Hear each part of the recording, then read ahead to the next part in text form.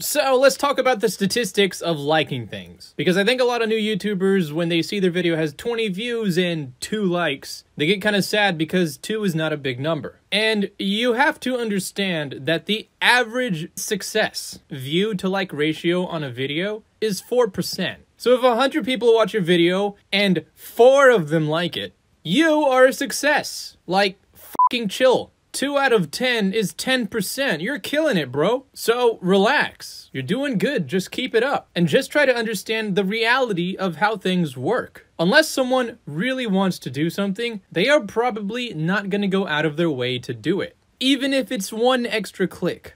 I know from the YouTuber perspective, it's a little hard to understand why one extra click is such a huge ordeal to ask. But you have to understand the reality of any time you are asking for someone to go out of their way they wouldn't normally do for other people, you are asking for a lot. I mean, think about it. You know when your teacher asks you to write your name and date on an assignment before you turn it in? Well, it's like adding the date to your homework each time. It's free, it's easy, you know it helps the teacher, and you know it only takes three seconds to do, but you really just don't want to do it because it's just more work and you don't get anything from it. It would be different if each time you added the date, the homework gave you an extra bonus point, but that's not how it is. It's extra effort required from you with virtually no reward. This is what liking a video is for most people. They don't gain anything out of it. And the fact that it takes any effort at all makes it too much work for most people. So don't take it personally. Just keep at it. And just remember that 4% is success. So hope that helps. And as always, hope you have a fantastic day and I'll see you around.